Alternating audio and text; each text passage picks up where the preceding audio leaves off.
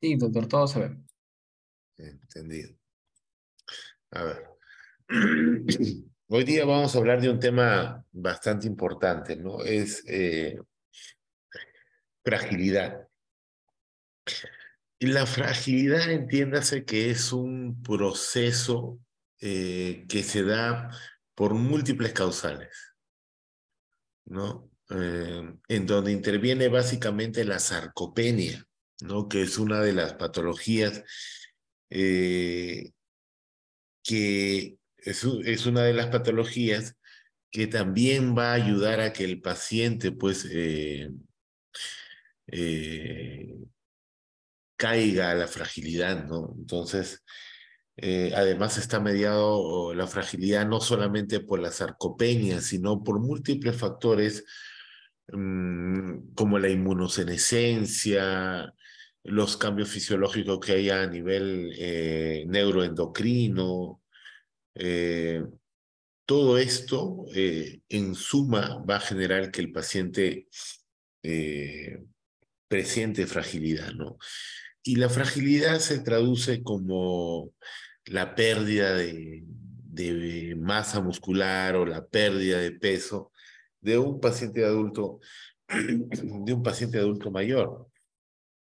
¿No? El cual, eh, si nosotros no intervenimos a estos pacientes, primero si no los identificamos tempranamente, eh, si no intervenimos, lo identificamos e intervenimos, eh, el paciente puede irse a una dependencia o puede, puede llevarlo al paciente a una dependencia.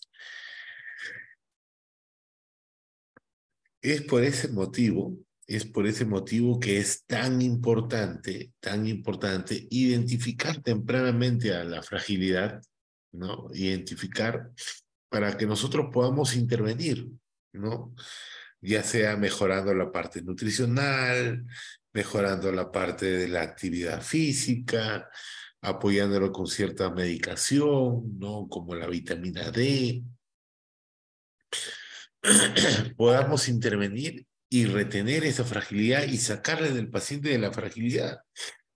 Porque con la fragilidad el paciente se va, definitivamente el paciente va a ir a una, a una dependencia, ¿no? Y al, caer una dependencia, pues los pacientes pues eh, llegan a postrarse en cama y ser pues una, una carga que al final va a generar un cambio de la dinámica en la familia, ¿no? Y eso es lo que básicamente tenemos que evitar. Ahora,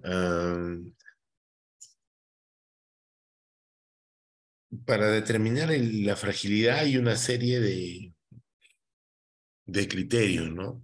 El más conocido son los criterios de Friet, que son cinco, cinco áreas a las cuales se tienen que evaluar. No es el único, ¿no? Hay múltiples criterios, pero es el más reconocido generalmente para los estudios, eh, para realizar estudios ¿no? de investigación. Eh, en la práctica clínica no es muy, ¿cómo les puedo decir?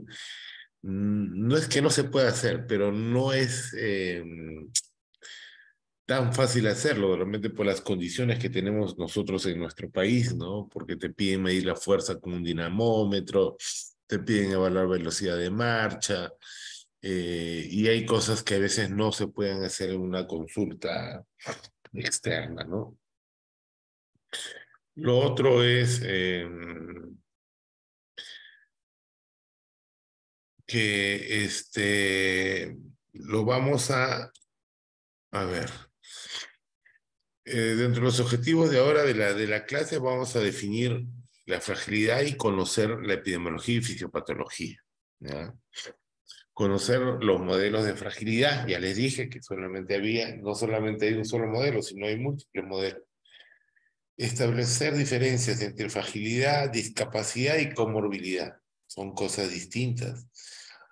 Fragilidad mm, La fragilidad eh, me puede producir discapacidad. Igualmente que la comorbilidad me puede producir fragilidad y la fragilidad también me puede producir comorbilidades.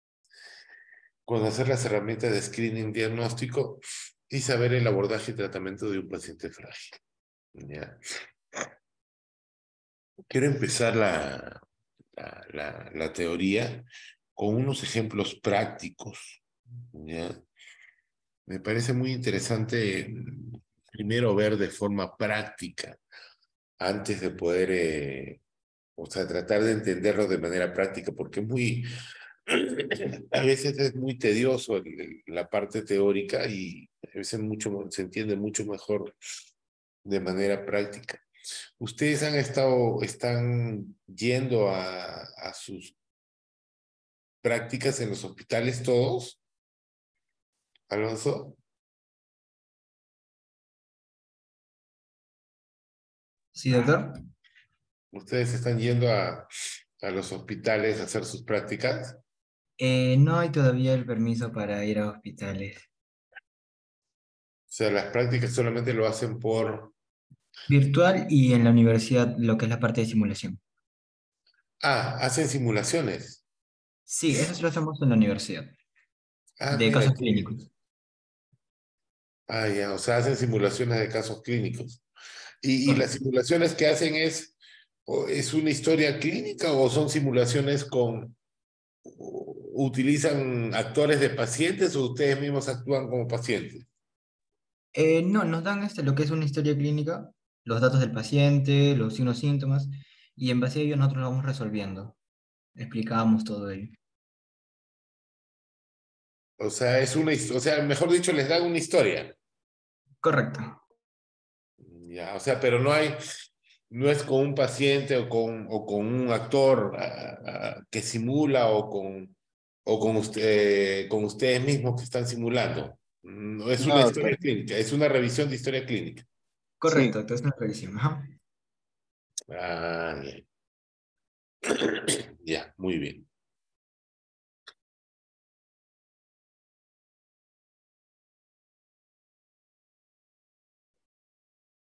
Quiero que, quiero que vean esas dos imágenes. ¿Se logra ver?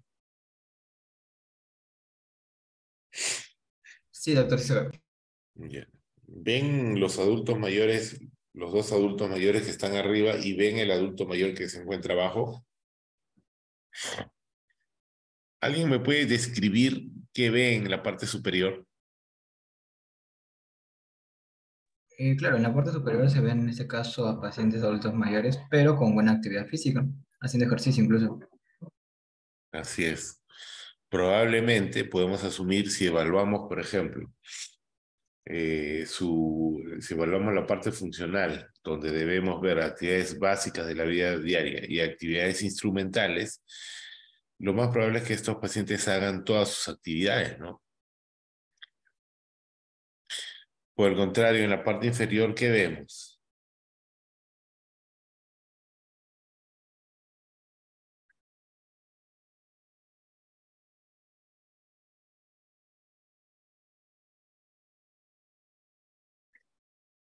¿Qué vemos en la parte inferior? ¿Quién me describe el paciente de la parte inferior?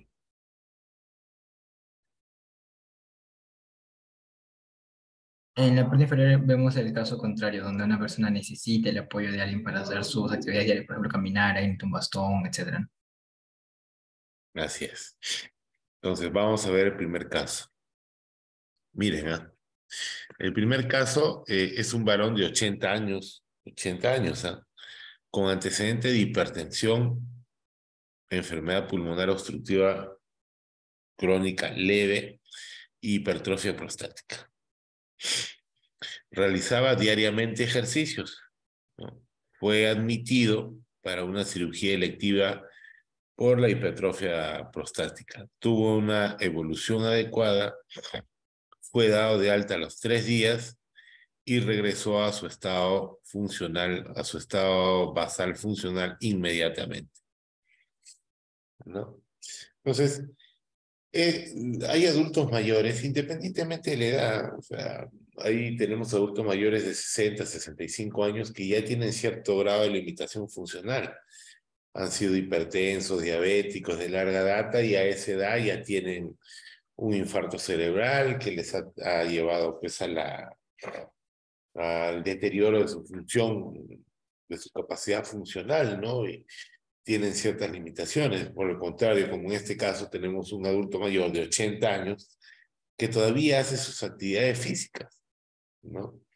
¿Qué quiero decir con eso? Que también la edad no es un indicador para decir si este paciente, eh, para decir si el paciente pues tiene, eh, no es un indicador de cómo está su capacidad funcional, ¿no? Yo podría pensar que la capacidad funcional de un paciente de 65 años es mucho mejor que la de un paciente de 80, pero muchas veces no es así, ¿no? lo que también eh, te puede llevar a que un paciente decline su capacidad funcional son las comorbilidades que tienen alrededor de él. Entonces, en este caso, miren, a, pesar de que este es un paciente que tiene una hipertensión arterial, tiene un EPOC leve, entra a sala de operaciones entra a sala de operaciones por un cuadro eh, de una cirugía prostática. Pero miren lo importante, ¿no? Lo más probable es que este paciente no haya tenido, no haya tenido ningún tipo de complicación, ¿no? Porque lo operan y al tercer día salió de alta. ¿No? Y como ustedes ven, regresó a su estado basal funcional inmediatamente. Lo más probable que este paciente sea tengo un, sea un CATS-A, o sea, un Bartel, o tengo un Bartel de 100 sobre 100. Fue sometido a cirugía, ¿no? Fue sometido a cirugía, no tuvo ninguna intercurrencia durante la cirugía o posterior a la cirugía. Bueno, no tuvo ninguna intercurrencia dentro de la cirugía y posterior a la cirugía, ya que es dado de alta al tercer día, ¿no? Ya que es dado de alta al tercer día. Y miren, ¿ah? recupera su estado funcional inmediatamente, o sea, sale de alta y, sale de alta con su, con, con, su misma capacidad funcional con la que ingresó previamente a la cirugía. ¿No? Entonces, vean lo, lo importante que es que estos pacientes tengan actividad física, tengan una buena capacidad funcional.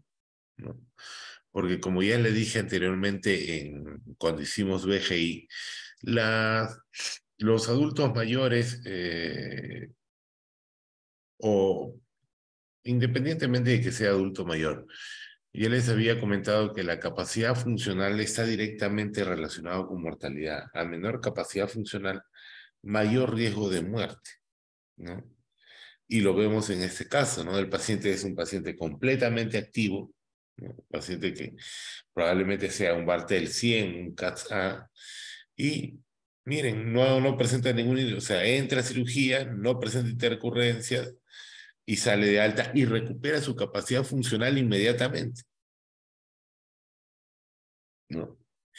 Entonces, vean lo importante, porque entonces este es un adulto mayor con buen estado funcional, con un adecuado estado mental, realmente con un adecuado apoyo eh, social y también con un buen estado nutricional ya que no hace ningún tipo de complicaciones post cirugía. Por el contrario, en el segundo caso, ¿quién me puede leer el segundo caso?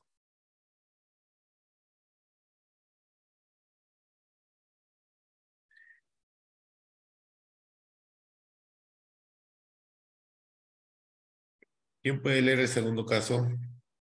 Eh, yo, no, hay problema.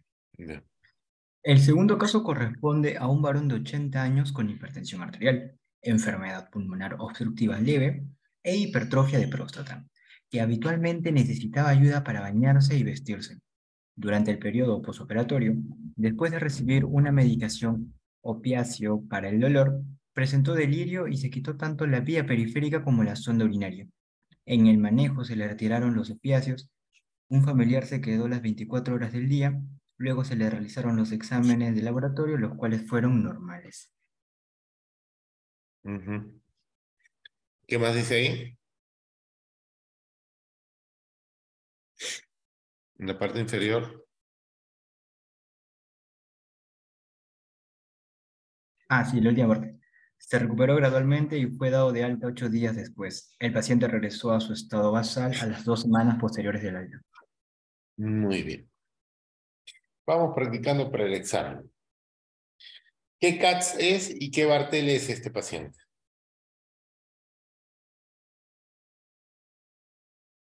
¿Quién me responde eso?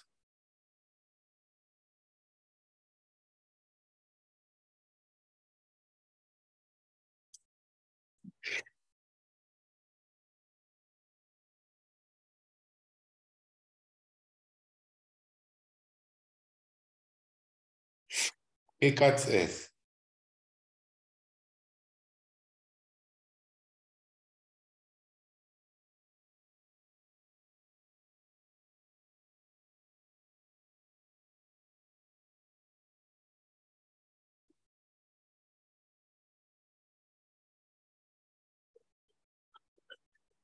¿Qué es?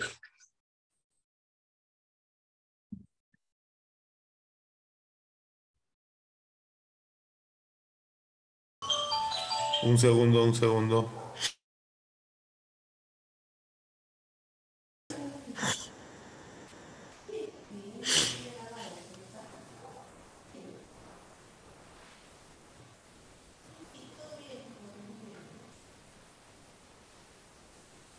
A ver, muchachos. Bueno, voy a dedocracia entonces, a ver. ¿Quién? ¿Quién? Angelita, ¿qué CATS es el paciente?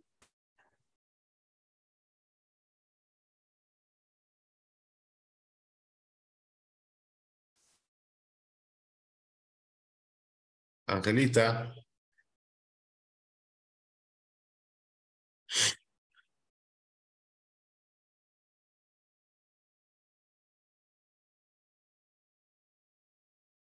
Angelita. ¿Dónde está?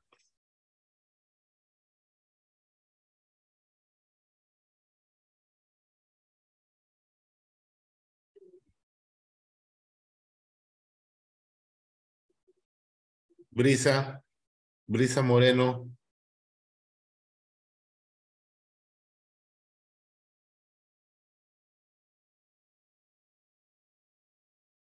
Brisa Moreno.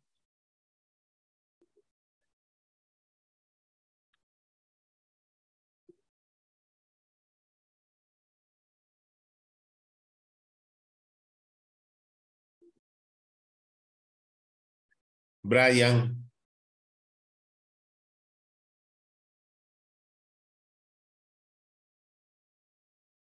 Doctor, ¿no sería un paciente dependiente? Dado que nos dice, ¿no? Que necesita ayuda tanto al momento, ¿no? En el índice de que dice de bañarse, de vestirse.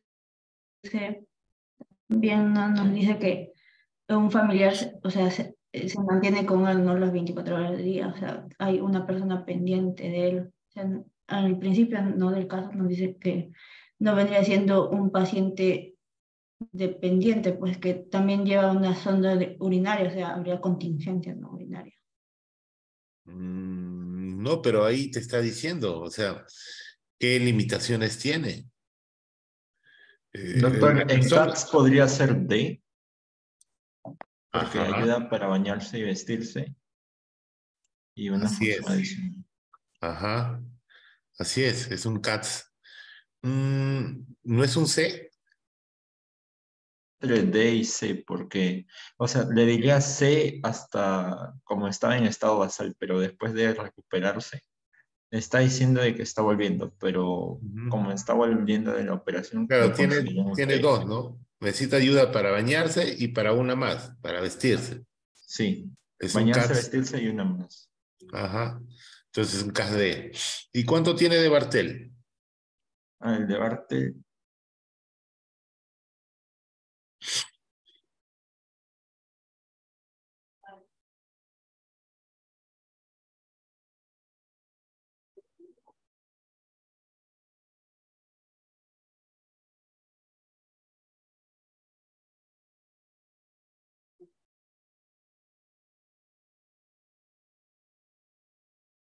¿Qué Bartel?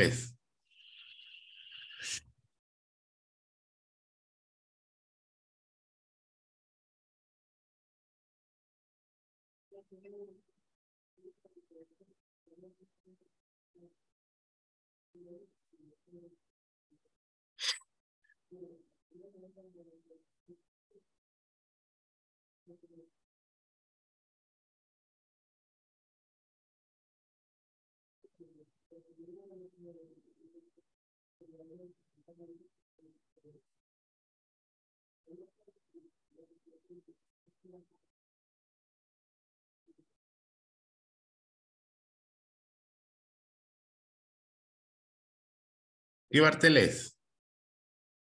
Bueno, muchachos, necesito ayuda solamente para vestirse y para bañarse. Debe ser un debe tener un Bartel de 90 sobre 100. Un dependiente leve, ¿no? ¿Sí? ¿O estoy equivocado? Sí, doctor. Esas cosas tienen que saber manejarlas. Porque en el examen bueno, mis preguntas han ido así, ¿no?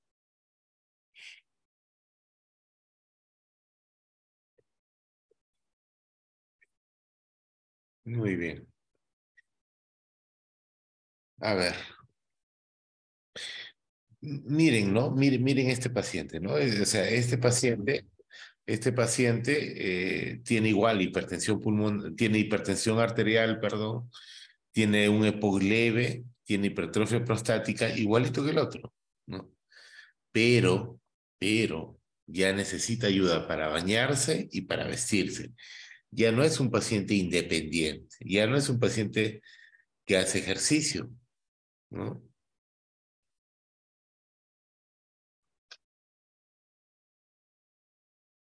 ¿No? Entonces, ya es un paciente que tiene cierto grado de dependencia. Miren ese cierto grado de dependencia, esa pérdida de la capacidad funcional hace que el paciente no tenga esa misma recuperación que el, que el anterior paciente. ¿no? Utilizan un medicamento opiáceo, ¿no? Un medicamento opiáceo y el paciente hace delirium. ¿no? hace delirium. Ya hemos visto anteriormente qué es el delirium, ¿no? ¿Qué es el delirium? ¿Se acuerda?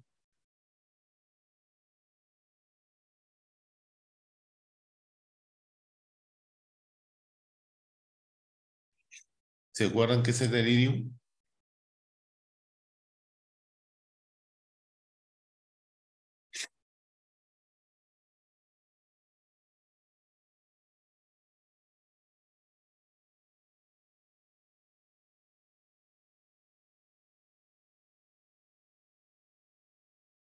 ¿Recuerdan, muchachos, qué es el delirium?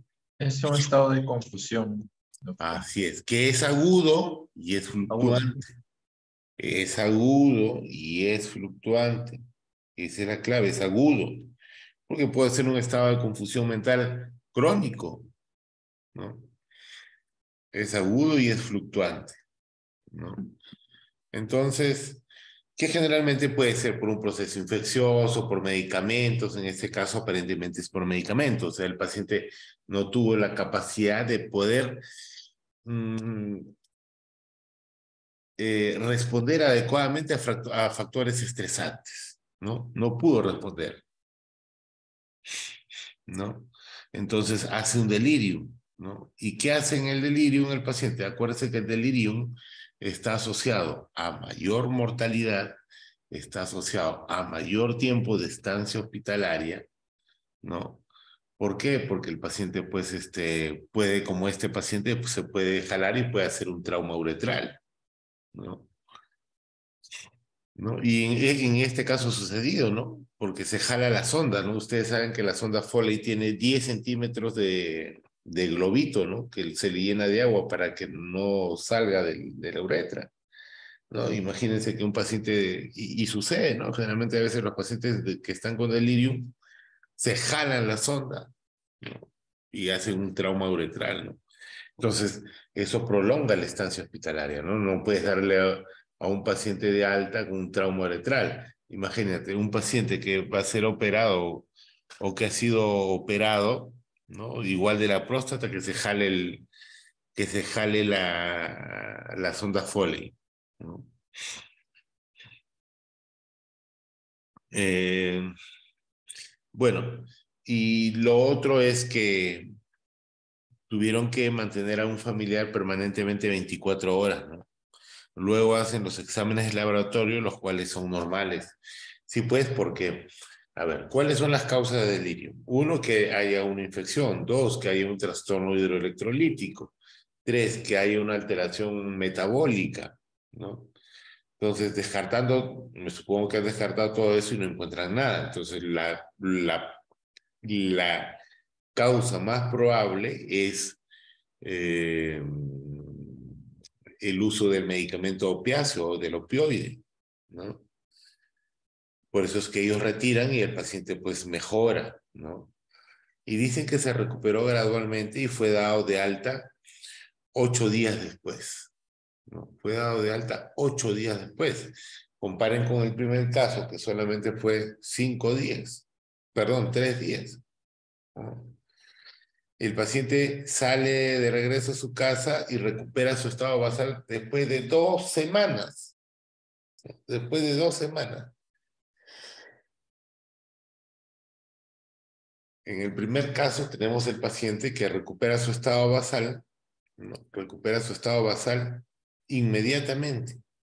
Y este pacientito lo recupera a las dos semanas. ¿no? solo por tener ciertos, ciertas alteraciones o cierto déficit en su capacidad funcional. Es un paciente dependiente leve, dependiente leve, imagínense. Entonces veo, ve, quiero que vean ustedes cuáles son esas diferencias, ¿no? Miren, eh, algo tan simple para poder identificar, ¿no? Este paciente tuvo, tuvo un, tuvo una mejor respuesta a, la cirugía siendo un paciente completamente activo, ¿no? Y los otros dos tuvieron, en el segundo caso no hubo una respuesta muy adecuada, ¿no? Post cirugía, ¿no? A pesar de que no, a pesar de que el paciente no se infectó, de que no hizo trastorno eh, hidroelectrolítico, de que no hizo eh, un trastorno metabólico, ¿no? Solo el hecho de haberle colocado un medicamento opioide hace que se genere todas esas complicaciones, ¿no? Los medicamentos opioides, como ustedes saben, se, se utiliza para, para el dolor, ¿no? Moderado a severo, ¿no? Entonces, mm, eh, eso quiero que ustedes tengan, tengan en cuenta, ¿no? Lo, lo tomen en cuenta, ¿no?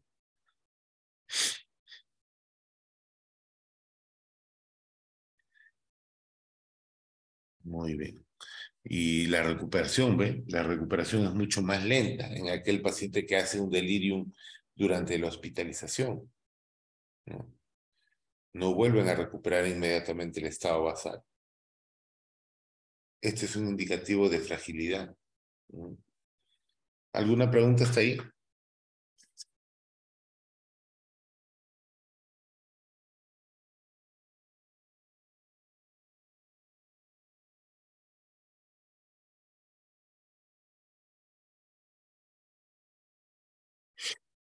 ¿Alguna pregunta hasta ahí? A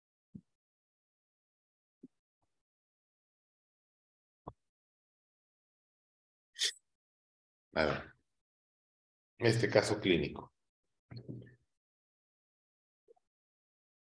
En este caso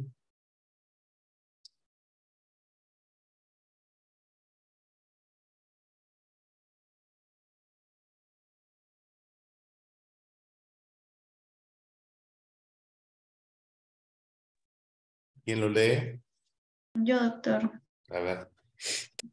Caso 3. Paciente de 81 años que vivía solo desde que su esposa murió hace 5 años, con historia de hipertensión arterial, enfermedad pulmonar obstructiva leve y antecedentes de cirugía de cadera izquierda y pérdida de peso, 8 kilogramos. En el último año usaba un bastón. Fue encontrado en el suelo por un vecino. Se encontraba orientado, mencionó haberse caído desde una silla, no haber perdido la conciencia, con debilidad para levantarse. Fue evaluado en emergencia y hospitalizado. No se le encontraron fracturas ni alguna otra alteración en exámenes de laboratorio, ni en estudios cardiovasculares, por lo que, por lo que fue referido a rehabilitación. solo podía caminar con ayuda de un andador. Debido a que no podía cuidar de sí mismo, fue trasladado a una casa de reposo donde falleció cinco meses después. Muy bien. ¿Qué opinan?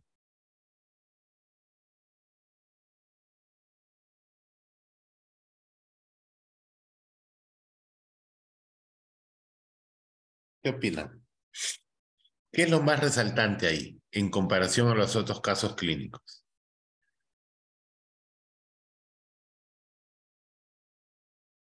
¿Qué es lo que resalta a diferencia de los otros dos casos? El paciente vivía solo. Ya, que el paciente vivía solo. ¿Qué más? En un estado de abandono. De abandono. Bueno, sí, podría un problema social, ¿no? O sea, como un adulto mayor va a vivir solo. Probablemente no tenga hijos o los hijos no están ya. ¿Qué más?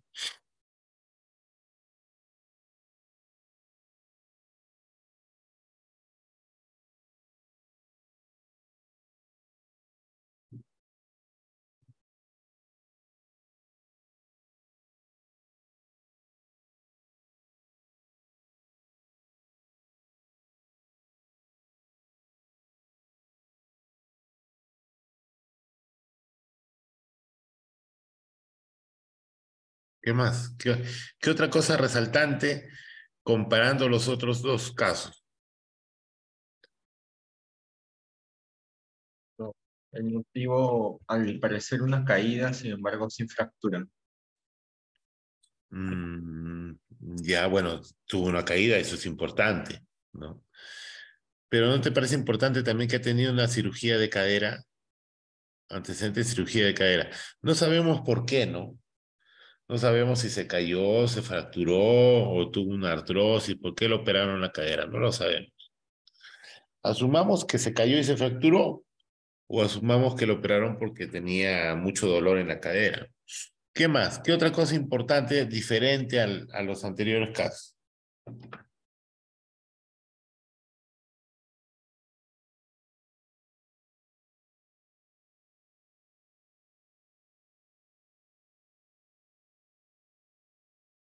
¿Qué otro caso importante?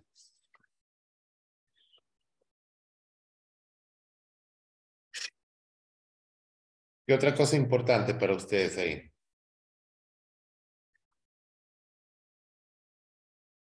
Ahí se contradice, dice que el paciente estuvo orientado, pero al final hay una contraindicación porque dicen que se cayó de su silla y finge no haber perdido la conciencia, ¿no? Y es una persona de mayor edad. Puede que sea su ¿No, ¿No les parece algo importante? Así es. ¿No les parece importantísimo esa pérdida de peso de 8 kilos? ¿No? Esa pérdida de 8 kilos. Mm, en el último año. ¿no? En el último año. Nadie pierde 8 kilos en el último año.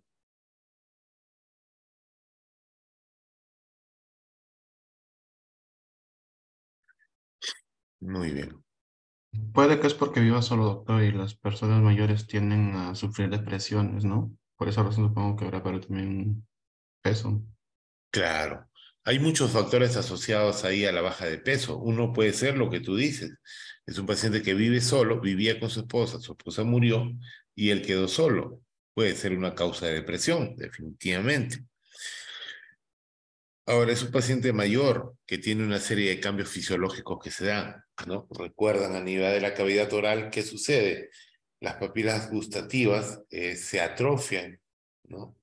Entonces, a veces no encuentran sabor, muchas veces en, los alimentos. Lo otro, disminuye la secreción de la saliva, ¿no? Es, produce serostomía y es más dificultoso que ellos puedan alimentarse, ¿no? También pierden los dientes, ¿no? Se vuelven edéntulos, ¿no?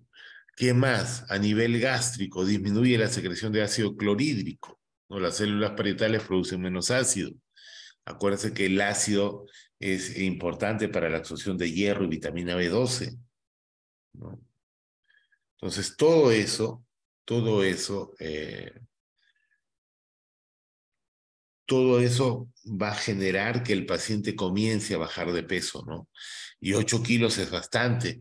¿Se acuerdan cuando vimos eh, eh, farmacología del envejecimiento? El, el, paciente pierde, eh, cuando baja de peso, a expensas de qué? ¿A expensas de grasa o a expensas de músculo? de músculo. de músculo. El paciente adulto mayor pierde músculo. Y aumenta la grasa corporal, Entonces hay que tener bastante cuidado cuando se indica dieta, ¿no? Hay veces tenemos pacientes que se le diagnostica diabetes a los 70 años. Viene la nutricionista y le mete la dieta así rigurosa como si fuera un paciente de 40, 50 años, ¿no? Más lo que lo va a desnutrir al abuelo y le hace perder masa muscular, ¿no? Entonces, eh, y y lo otro importante es que el paciente pues sufre una caída, ¿no? Acuérdense que para nosotros caída es una situación muy importante, ¿no? Es la pérdida de, fuerza muscular, ¿no? En los miembros inferiores, pérdida del equilibrio, ¿no? O cualquier otra causal, ¿no? Acuérdense que puede ser de causa neurológica, cardiológica, osteomuscular, entonces, pero es un paciente que ya está cayendo y acuérdense que caída cuando hicimos ortogeriatría era un indicador de fragilidad. ¿No? Caída era un indicador de fragilidad.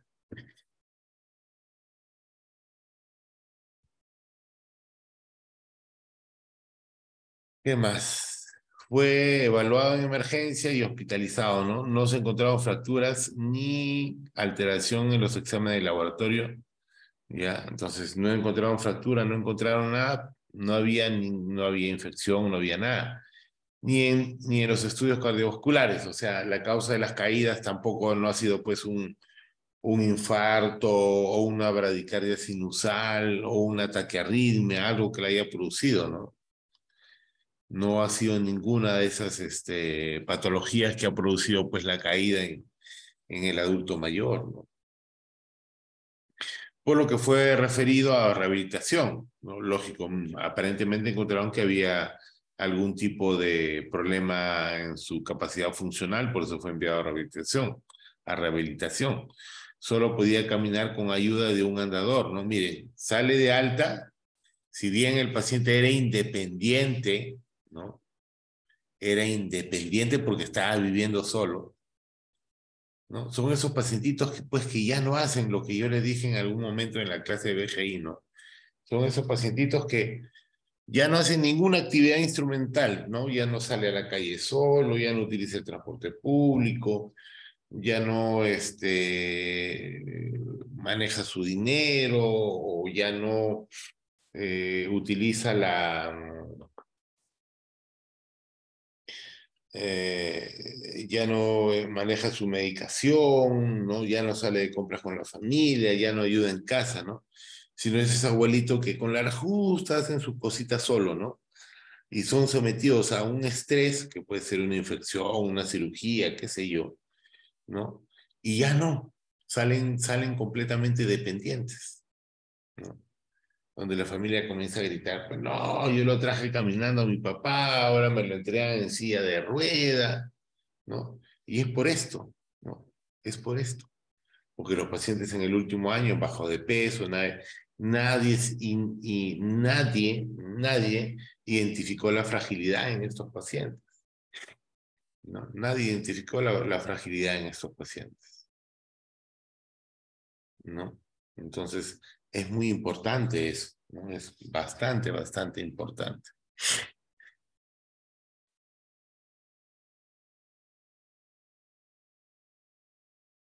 Y después estos pacientes pues este, se vuelven dependientes, los mandan a la casa de reposo y, básicamente fallecen. Eso es lo que sucede con los adultos mayores cuando no identificamos adecuadamente eh, el estado de fragilidad, cuando no se identifica adecuadamente el estado de fragilidad. Y tenemos pues así a los pacientes ¿no? y las familias que muchas veces eh, comienzan a hacer problemas porque te dicen, no, no, yo lo traje a mi paciente caminando, él hacía todas sus cosas, todas sus actividades, ¿no? Sí, pues probablemente pueda estar haciendo todas sus actividades, pero los hacía pues con la reajusta, ¿no? Que es sometido a una situación de estrés y, y, genera toda esta cascada de problemas, ¿no? Muy bien, ¿alguna pregunta hasta acá?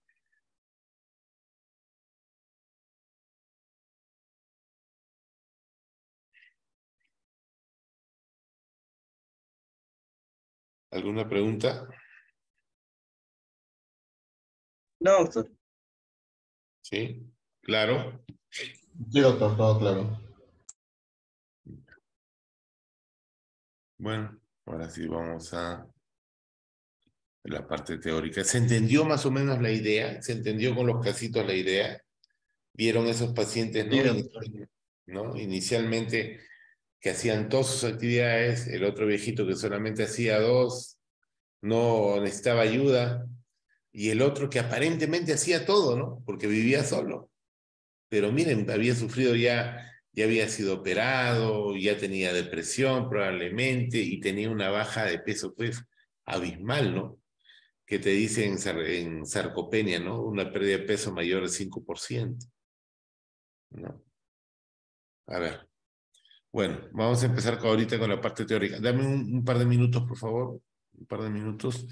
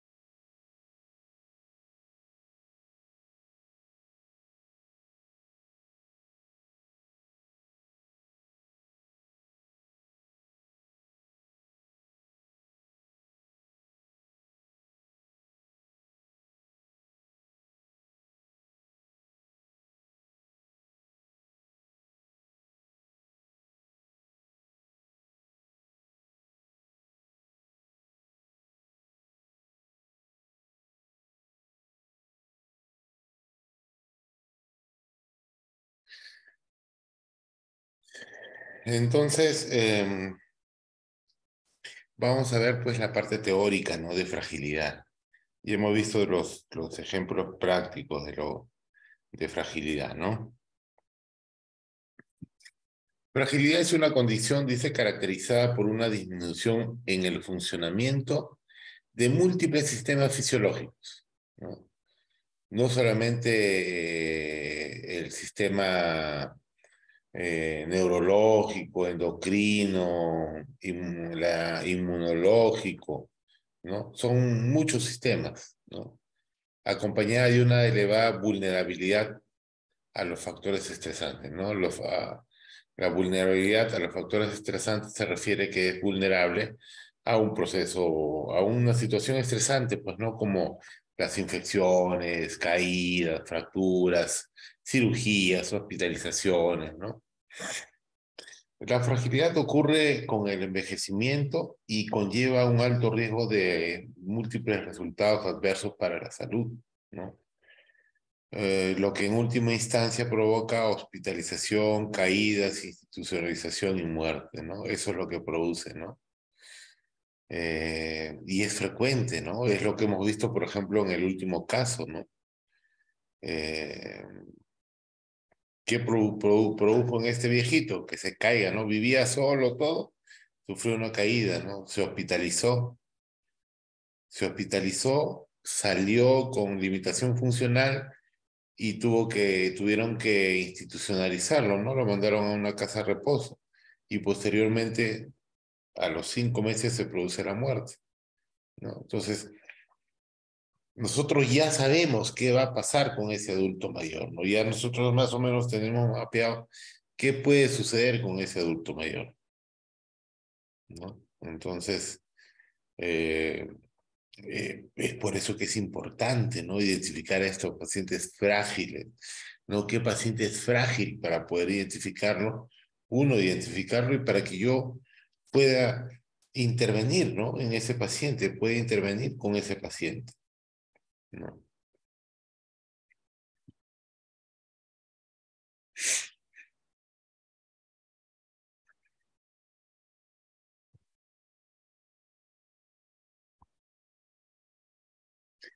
fragilidad es una condición prevalente entre los adultos mayores, con una prevalencia estimada del 10% en los habitantes de la comunidad. ¿Qué quiere decir? Que de 100 pacientes en la comunidad, adultos mayores de 65 años o de 60 años, 10 de ellos tienen fragilidad.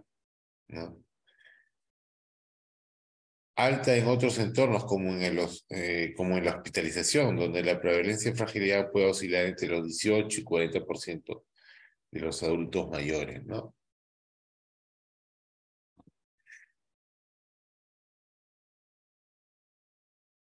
La literatura reciente eh, también ha informado que la fragilidad se asocia con un mayor riesgo de enfermedad cardiovascular, ¿no? Está asociado también a un mayor riesgo de enfermedad cardiovascular, ¿no?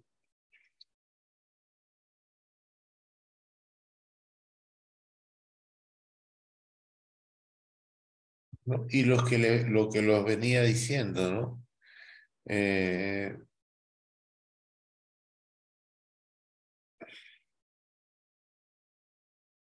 lo que le venía diciendo.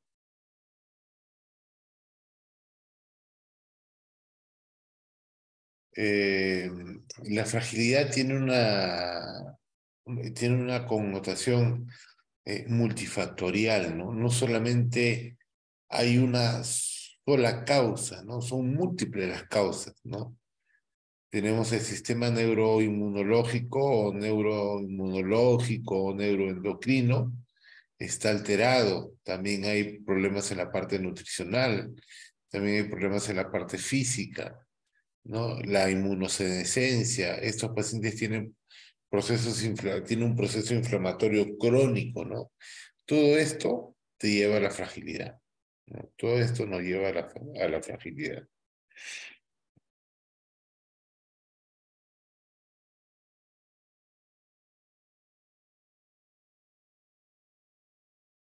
¿Cuál es la epidemiología?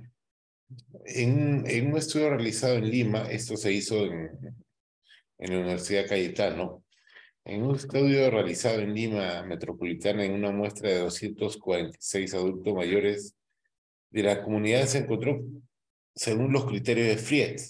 Ya les había dicho que hay múltiples criterios para identificar fragilidad, ¿no? Eh, pero uno de los criterios más utilizados en, el ámbito de los, de, los estudios de investigación son estos criterios de Fried. Encontraron que la frecuencia de fragilidad y prefragilidad fueron para fragilidad 7.7%, ¿no? muy parecido a, lo, a, la literatura internacional que habla de un 10%, ¿no? y 64% respectivamente, ¿no? Eh, a la prefragilidad, ¿no? Y la frecuencia de comorbilidad y dependencia funcional fueron de 12.6 y 6.5 respectivamente, ¿no? Y miren las comorbilidades, ¿no? Las comorbilidades bastante altas, 12.6. Y dependencia funcional estaba relacionada a 6.5, ¿no? Casi de la mano con los pacientes frágiles, ¿no?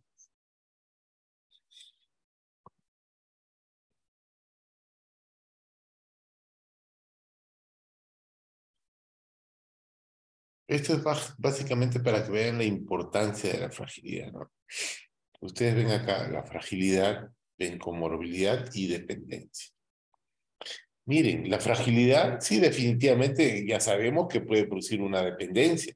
Si yo no intervengo a este paciente frágil, yo no lo intervengo con rehabilitación, con mejorar su dieta, con algún tipo de medicación, este paciente va a ir a la dependencia.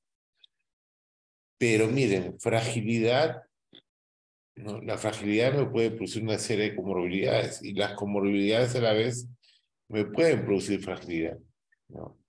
La comorbilidad también me va, las comorbilidades que yo cargue, que yo tenga, como por ejemplo yo tengo una diabetes, eh, una diabetes melito con complicaciones tardías, tengo una neuropatía diabética, todas esas comorbilidades me van a llevar a la dependencia. Entonces, pues se forma, se forma pues un círculo vicioso ahí, ¿no? Entonces, ¿qué dice ahí? La fragilidad no es igual a discapacidad ni dependencia. Lógico, ¿no? No es igual la discapacidad ni dependencia, la fragilidad. La comorbilidad es una de las causas de fragilidad y dependencia es una de las consecuencias, ¿no? Es una de las consecuencias. Comorbilidad es una de las causas de fragilidad y dependencia, de, eh, y dependencia es una de sus consecuencias de las comorbilidades. Se asocia a mayor riesgo de deterioro funcional, complicaciones, dependencias y mortalidad, ¿no? Ya sabemos nosotros que la fragilidad va a producir esto, ¿no? Está asociado a mayor riesgo de deterioro funcional, complicaciones, dependencias y mortalidad. Y, son potencialmente tratables, son potencialmente tratables, ¿no? ¿Alguna pregunta hasta acá?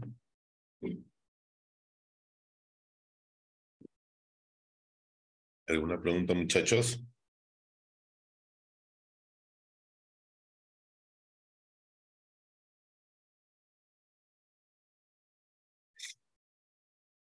¿Alguna pregunta? ¿No hay ninguna duda?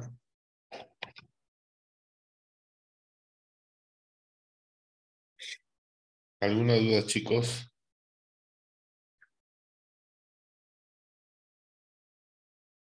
No, doctor. ¿Todo claro? Sí, doctor. Muy bien.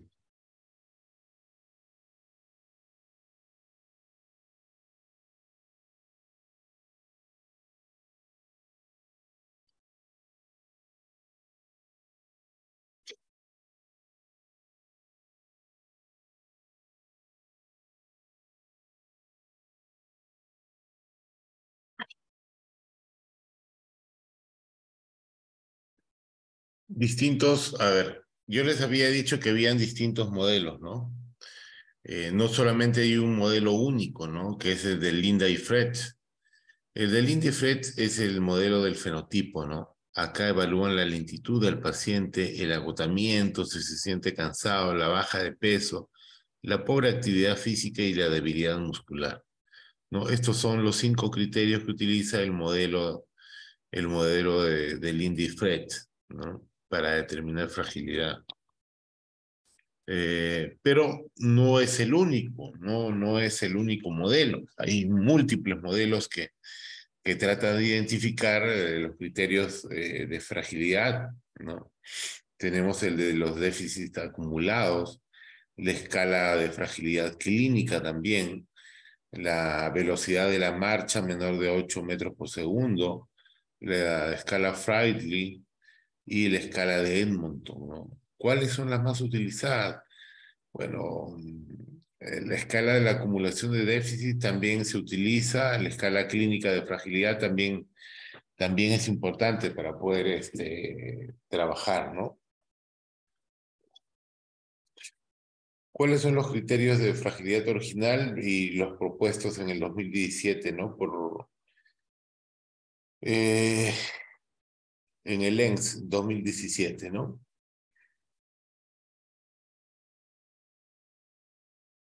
Mm. Por ejemplo, miren, los criterios de lentitud, por ejemplo, ¿no? La velocidad de la marcha, eh, tiempo en recorrer 4.57 metros, a paso habitual ajustado por sexo y estatura, ¿no? Eso, hacerle a un paciente hospitalizado es muy complicado, ¿no? ¿No? No lo decir al paciente que está hospitalizado y en su camita, ¿sabes qué? Quiero que te levantes y caminas 4 metros 57 centímetros, ¿no? Y te voy a medir la velocidad. Es difícil, ¿no? Es muy difícil. Entonces, ¿qué utiliza? ¿Qué están proponiendo el ENS? Está proponiendo un autorreporte de la velocidad de caminar, ¿no? En categoría de lento, mediano, ¿no? o, o alto, ¿no? Por ejemplo, en, el agotamiento, cómo, cómo le mide el, el Friet, en los criterios de Friet, ¿no?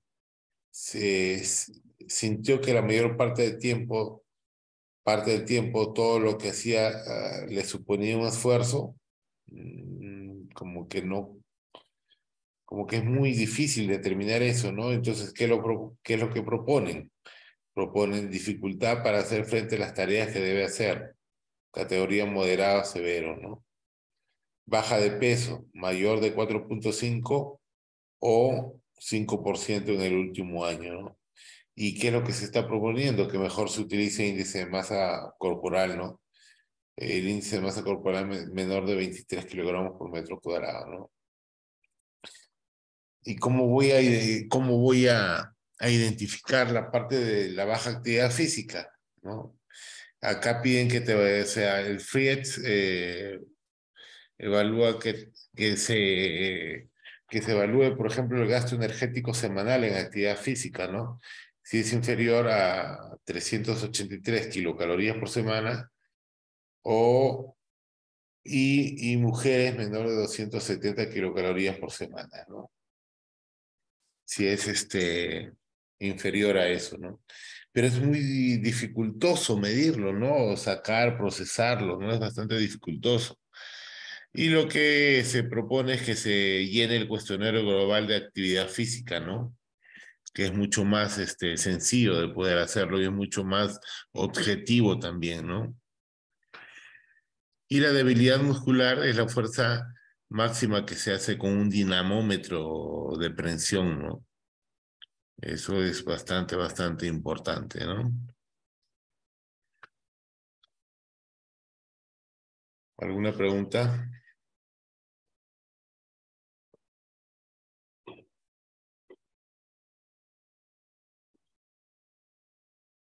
¿Alguna pregunta hasta ahora, muchachos? ¿No hay ninguna pregunta?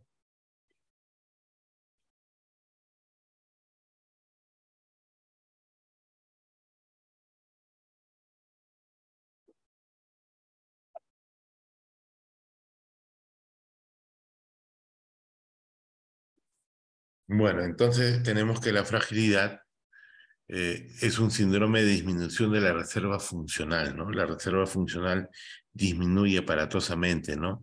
Y resistencia a estresores, o sea, cualquier situación de estrés lo va a descompensar a este paciente, ¿no? Que provoca su vulnerabilidad. Identifica sujetos en riesgo de deterioro funcional y otro evento y otros eventos eh, del deterioro de su salud. ¿no? Es multidimensional, ¿no? Dinámica y no lineal. Es muy, muy dinámica.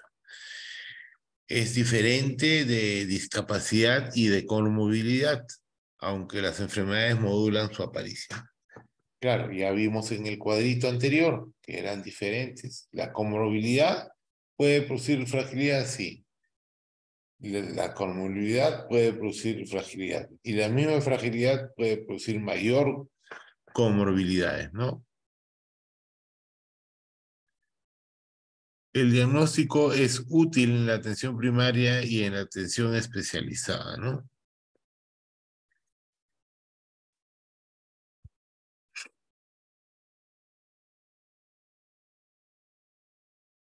Esto es la fisiopatología de, esta es la fisiopatología de, de la fragilidad, ¿no? Vean, por ejemplo, los factores etiológicos, los factores de riesgo y etiología, ¿no?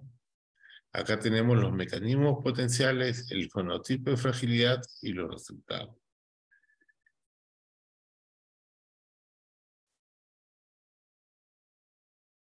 Pero vean, ¿no? Tenemos el envejecimiento, mire, como etiología, y como factor de riesgo, el envejecimiento. Uno. La parte genética, ¿no? La parte genética es importante. Hay pacientes adultos mayores, como por ejemplo, eh, un paciente de 80 años puede hacer todas sus actividades eh, instrumentales, básicas, ¿no? Y si comparamos con un paciente de 60 años que muchas veces pues, no puede hacerlo, ¿no? Entonces va a depender mucho de la genética, ¿no? Los estilos, va a depender también de los estilos de vida, de las enfermedades y del medio ambiente, ¿no? El medio ambiente se refiere pues al, al medio ambiente del domicilio, ¿no? Para poder recibir al adulto mayor. Eh, todo esto, ¿no? hay unos mecanismos potenciales, ¿no? Uno que está relacionado a la inflamación crónica y a sistemas pues intermediarios, ¿no? Con, lo con respecto a la inflamación crónica, vemos que está mediado por ciertas citoquinas, sobre todo por interleuquina 10. Eh, va a haber alteración de las células inmunes y hay una inmunoactivación de la vía inflamatoria, ¿no? ¿no? Que tiene que ver esto con las enfermedades crónicas, ¿no? Que a la larga nos lleva pues a, a, a estos sistemas intermedios como son el músculo esquelético, el endocrino, el cardiovascular y el hematológico. ¿Y esto en qué se traduce? ¿Cómo se traduce para mi práctica clínica? ¿Cómo se traduce en el paciente? ¿No? A debilidad, a pérdida de peso, a agotamiento, a baja actividad y marcha lenta. A eso se asocia. Y los resultados que pueden presentarse son caídas, discapacidad, dependencia ¿no? y muerte al final. ¿Alguna, ¿Alguna pregunta hasta ahí? Ya que me he puesto otro lente, no es mi lente. Duele la vista horrible. A ver, voy a, voy a tratar de cambiar un ratito estos lentes, ¿ya? Un segundo, por favor, un minuto.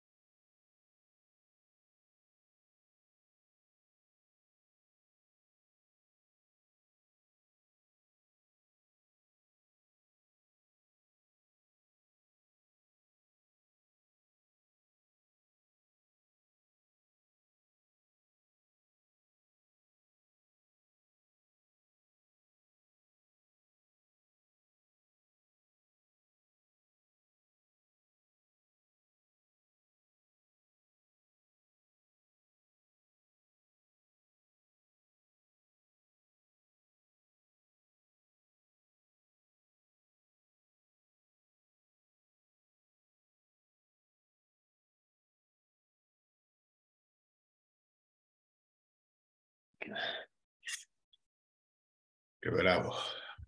¿Alguna pregunta? ¿Alguna pregunta hasta acá?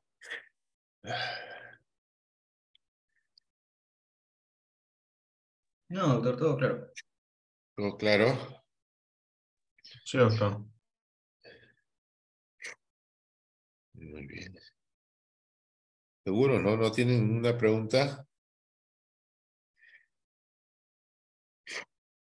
Pero acaba, de acaba de venir examen, ¿ah?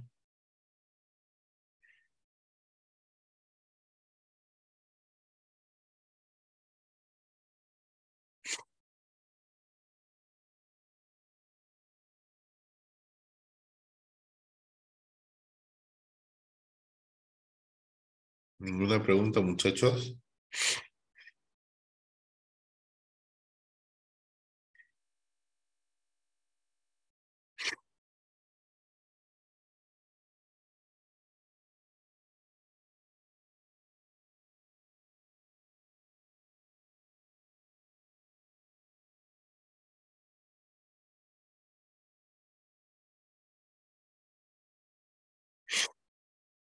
¿Ninguna pregunta? No, doctor.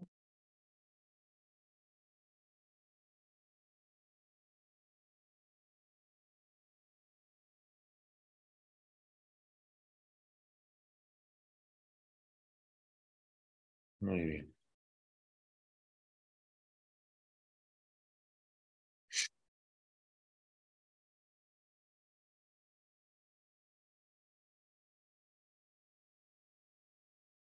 A ver. Vamos a ver. Mm.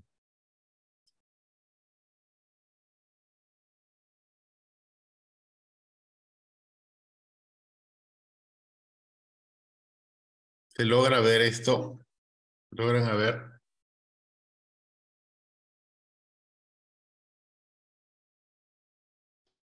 Sí, doctor, sí se ve.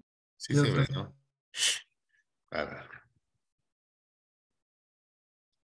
Miren que acá aparece otro término que yo les venía diciendo, ¿no? Que es la baja de peso, ¿no? La, la sarcopenia, ¿no? La pérdida de más del 5% del peso corporal. ¿no? Que esto es lo que más, eh, esto es lo que se agrega y esto es creo el detonante final para que el paciente pues pueda eh, vaya rápidamente a la dependencia y posteriormente a la muerte, ¿no? Si ustedes se dan cuenta, miren, hay varios factores, ¿no? Hay cambios hormonales, ¿no? En el eje de las gonadotrofinas, disminuye la testosterona, la testosterona, disminuye la vitamina D, miren, ¿no? Toda esta disminución, todos estos cambios hormonales pueden producir también sarcopenia. Y la sarcopenia va a producir fragilidad.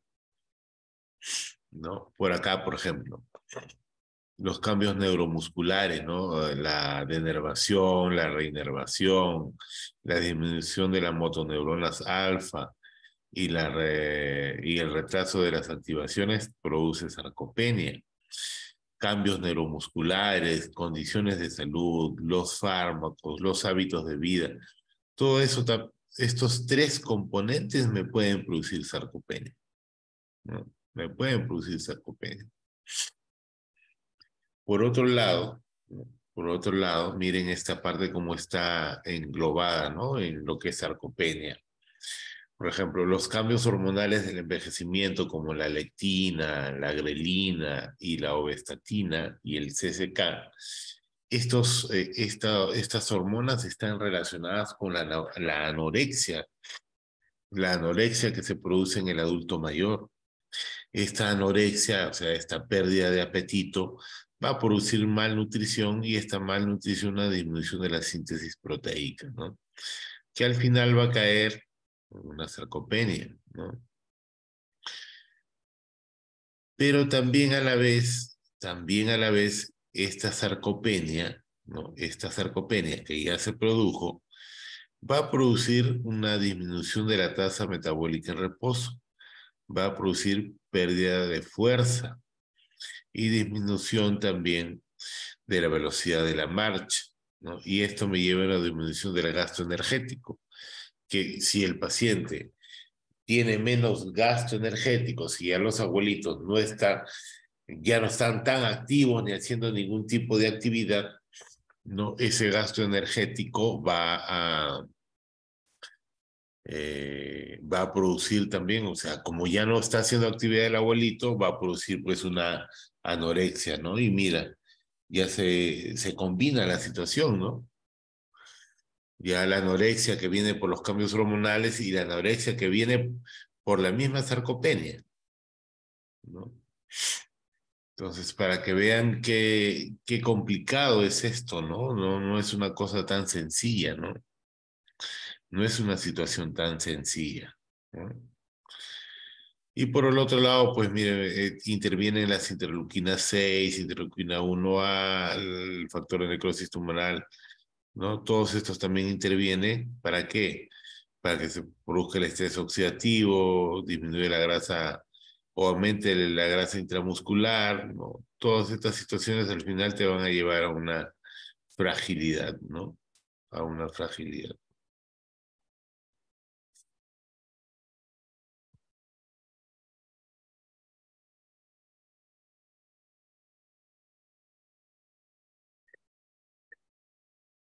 Los modelos de fragilidad. Ya habíamos dicho que dentro de los modelos de fragilidad, los modelos de fragilidad son múltiples, ¿no? El más común o más utilizado, por así decirlo, es el de Friedman, ¿no? Pero no es el único. ¿no? Hay, hay otros modelos también para poder determinar eh, fragilidad, ¿no? Durante las eh, últimas dos décadas se han propuesto pues varios métodos para evaluar la condición de fragilidad que subyace a diferentes modelos conceptuales. El modelo fenotipo identifica, identifica la fragilidad por la presencia de dos, dos de cinco características, ¿no? O sea, una, la pérdida de peso involuntaria, que ya lo hemos visto, ¿no? El agotamiento, el bajo nivel de actividad física, la velocidad de la marcha y la debilidad muscular, ¿no? Esos son los criterios de Fried. Basta más de dos para que sea positivo. El modelo de deficiencias múltiples se clasifica, clasifica la fragilidad por el número de deficiencias eh, funcionales, sensoriales y clínicas.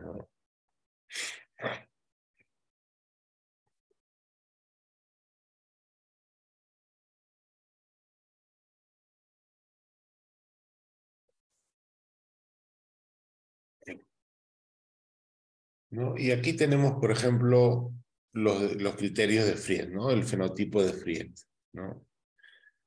Aquí están un poco más claros, por ejemplo, ¿no?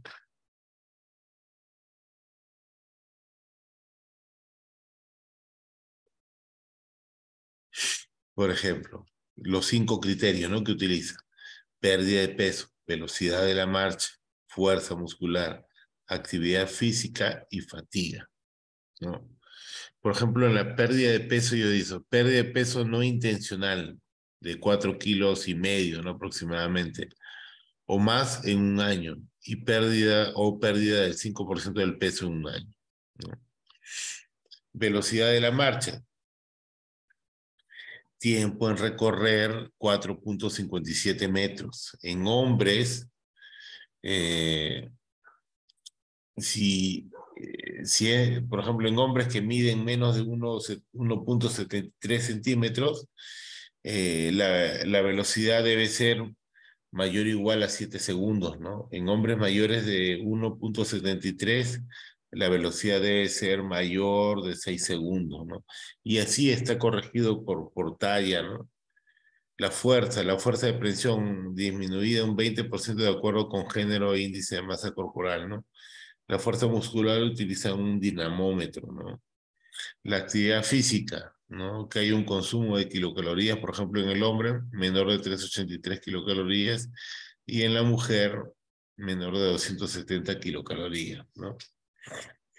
Y la fatiga, ¿no? La fatiga es una respuesta positiva, pues, a una escala de depresión, ¿no? Eh, por ejemplo, no le puedes preguntar, sentí que todo lo que hice requirió un gran esfuerzo o no, no puedo continuar.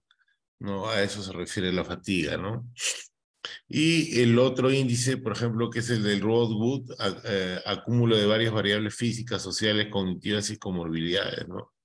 Entonces acá está, por ejemplo, en el cuadro 1, los aspectos clínicos de la fragilidad, ¿no? Y habla de los signos y síntomas, ¿no? Como disminución de la fuerza, disminución de la fuerza de la presión de mano, deterioro del balance, deterioro del, estado nutricional.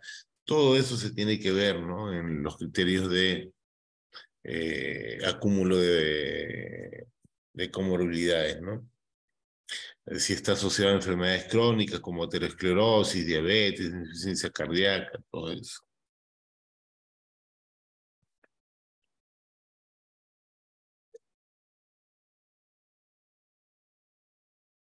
¿No? Acá está el fenotipo de Fried. Acá hay otro, acá hay otro, otro modelo, ¿no? El GCIT-PF, ¿no? Que evalúa movilidad, equilibrio, fuerza, resistencia, nutrición y función neuromotor, uh, neuromotora, ¿no? Aquí hay otro, los instrumentos para medir fragilidad, por ejemplo, tenemos el índice de fragilidad de Groningen, donde evalúa movilidad, visión, audición, nutrición, comorbilidad, eh, cognición, psicosocial, ¿no? Y el estado físico, ¿no? El estado físico del paciente es importante. Y bueno, como ustedes ven, hay múltiples escalas, ¿no? Escala de riesgo de fragilidad, ¿no?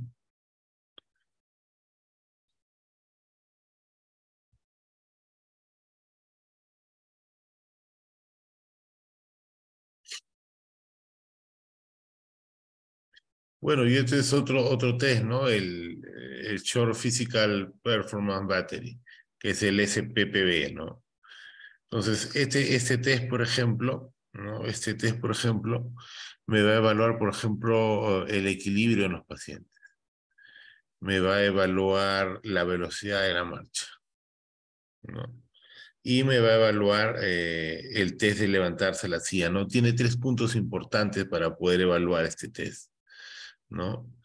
Eh, es el Short Physical Performance Battery, ¿no? Que, que realmente nos ayuda a, realizar este tipo de identificación de una forma más rápida a los pacientes eh, con fragilidad, ¿no? O a los, aquellos pacientes prefrágiles a los cuales tenemos que intervenir, ¿no?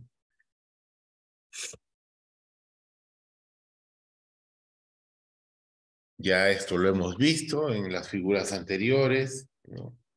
Comorbilidad asociado a discapacidad y comorbilidad asociado a fragilidad, ¿no? Las comorbilidades me pueden producir fragilidad, la fragilidad también me puede producir comorbilidades, pero las comorbilidades estas van a generar per se discapacidad y dentro de la fragilidad también se va a producir eh, perdón, y también la fragilidad a la vez me va a producir comorbilidad, me va a producir comorbilidad, ¿no? Y de igual manera la comorbilidad me puede producir fragilidad.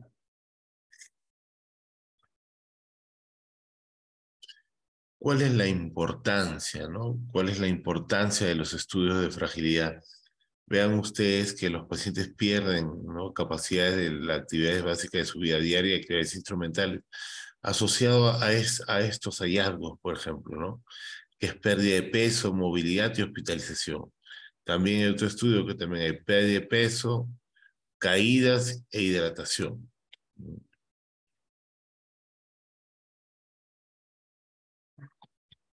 No sé si alguna pregunta hasta ahí.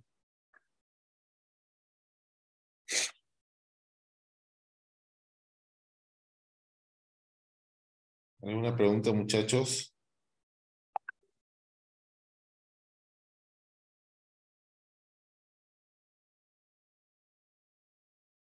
Ninguna.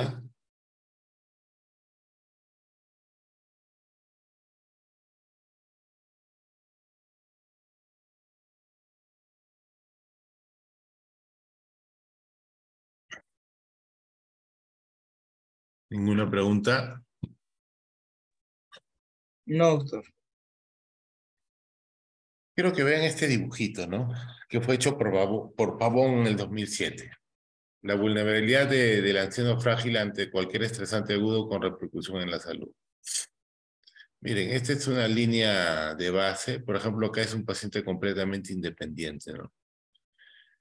Su capacidad funcional es alta, pero, por ejemplo, hay algo que lo descompensa, una infección, ¿no? una caída, qué sé yo, algo lo descompensa el paciente. Cae, se hospitaliza, pero nuevamente sale con su misma capacidad funcional, como vimos en el caso número uno, ¿no? De esos pacientes que están levantando sus pesas y todo, ¿no? Pero hay el que es un paciente dependiente leve, ¿no? ¿No? Es un paciente dependiente leve, pero miren lo que sucede, ¿no? Se enferma y cae. Y ya cuando este paciente sale de alta, sale de la hospitalización, ya no vuelve con su misma capacidad funcional. Se borra todo esto. Muy bien. Bueno, y el screening a toda persona mayor de 70 años, ¿no? Eh, que, por ejemplo, haya tenido una pérdida de peso 5% en el último año, ¿no? O alguna enfermedad crónica, ¿no? Se le debe hacer, pues, este screening para fragilidad, ¿no?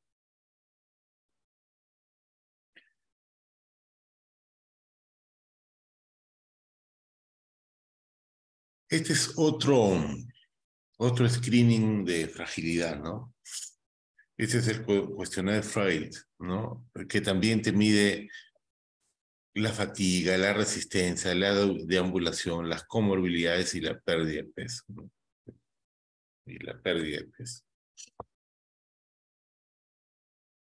Vean acá, fragilidad como un predictor de mortalidad, discapacidad, incidente y hospitalización a largo plazo en los ancianos españoles, ¿no? Esto ya está determinado por estudios, ¿no? No hay manera, no hay nada que digan que, que no, hay estudios a nivel internacional. Y el tratamiento, como ustedes saben, está dirigido, como ya habíamos visto, a los ejercicios aeróbicos de resistencia, ¿no? A esos ejercicios de caminata, de actividad física, de acá resistencia, de hagan cardio los adultos mayores, ¿no? Y también a la recuperación de la fuerza muscular, la recuperación del equilibrio, ¿no? También tiene que ver con la reducción de la polifarmacia. La polifarmacia acá es importante, porque si no cae esa polifarmacia, ese paciente puede ir a posteriori y puede ir muy mal, ¿no? El estado nutricional también es muy básico, ¿no? Es muy importante en estos pacientes y el uso de vitamina D, ¿no? Que es lo que se tiene que desarrollar, ¿no? Y el uso de la vitamina D, ¿no? Los ejercicios físicos que ya hemos visto que son multicomponentes para mejorar la capacidad funcional, fuerza y potencia, cardiovascular, equilibrio de marcha y flexión, ¿no? Y la, la intervención nutricional que tiene que ver con el ingesta de proteínas mayor de 1.5 gramos por kilo por día, la vitamina D, el calcio, eh, las grasas y las fibras proteicas. Los ejercicios que recomiendan básicamente, la parte nutricional que ya hemos visto, ¿no? Eh, ¿Cómo es el abordaje nutricional en estos pacientes, por ejemplo? ¿Cómo debe, cómo debe abordarse la nutrición en estos pacientes? Nosotros sabemos que tenemos un problema, ¿no? O sea, nosotros identificamos el problema, ¿no? Identificamos, por ejemplo, una eh, ingesta proteica inadecuada, ¿no? ¿Por qué? Porque identificamos que hay anorexia del envejecimiento, vimos que había una serie de hormonas que podían inducir el envejecimiento, ¿no? Como la lectina, por ejemplo, ¿no? Cambio fisiológico del olfato, del gusto, no hay detadura y cambios sociales y económicos, ¿no? Esto está, estas estas premisas son las que están eh, generando todo esto, ¿no? Hay menor proteína disponible, hay resistencia a la insulina, circulación esplánica, inmovilidad y, y, tienen una situación inflamatoria, una enfermedad crónica inflamatoria, ¿no? Y la valoración geriátrica integral sería el aumento del aporte proteico, eh, tiene que ser una dieta mediterránea, optimizar la dieta y la suplementación oral, ¿no? Y las proteínas de alto valor biológico, proteínas de absorción rápida, ¿no? Y atención al contenido de eh, aminoácidos esenciales, ¿no? De ahí, ¿cómo intervengo? Con los ejercicios combinados y de ahí con los indicadores de calidad y de registro, ¿no?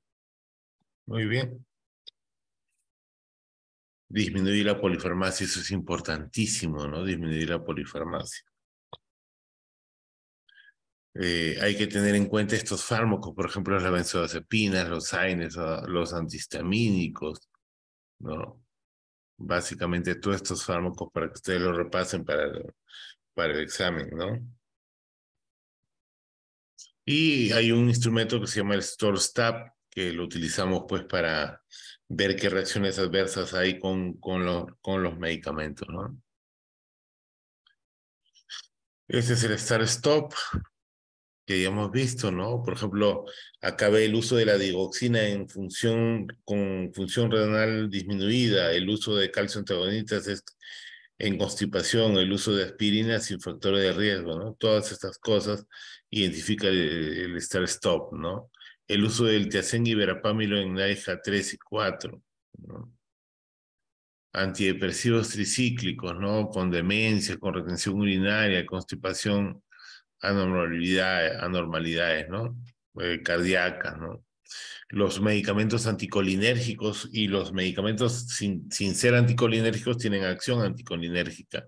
Pueden producir constipación, pueden producir eh, puede producir retención urinaria, ¿no? Por ejemplo, otro problema que se encuentra son los AINES en la falla, en la falla renal y los AINES en la falla cardíaca, ¿no? Que no deben estar, ¿no? y los beta bloqueadores y los hipoglicemiantes.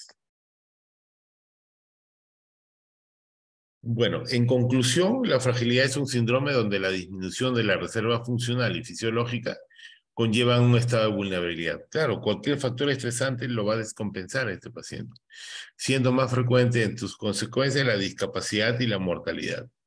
Los conceptos de fragilidad como comorbilidad y discapacidad no son lo mismo, sin embargo suelen estar relacionados. El diagnóstico puede realizar a través de los criterios de Frietz u otros mayores como la velocidad de marcha, ¿no? que es el, el, P, el SPPB, ¿no? el screening a través del Freud. Y el tratamiento no es un abordaje multicomponente de ejercicio físico, nutrición, vitamina D y reducción de la polifarmacia. ¿no? Muy bien. ¿Algo más, muchachos? ¿Alguna pregunta?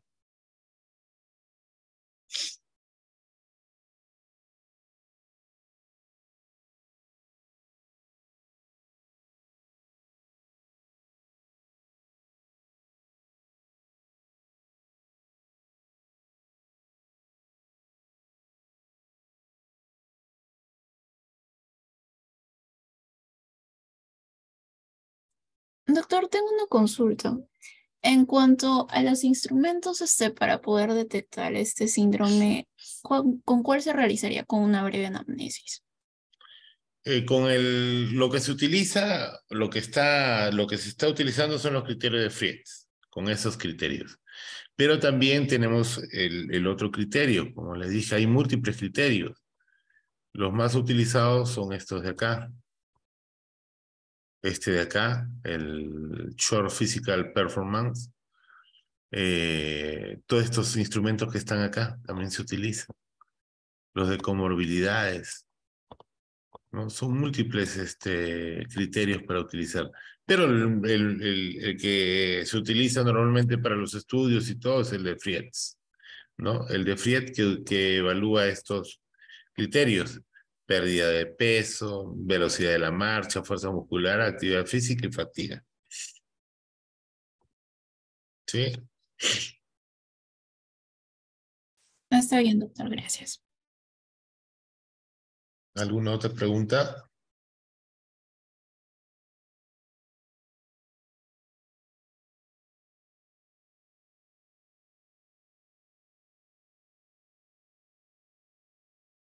Todo claro que aprecio. Ya, muy bien muchachos. Entonces, ¿cuándo es su examen? El próximo sábado. El sábado 19. El sábado 19, ya. Sí,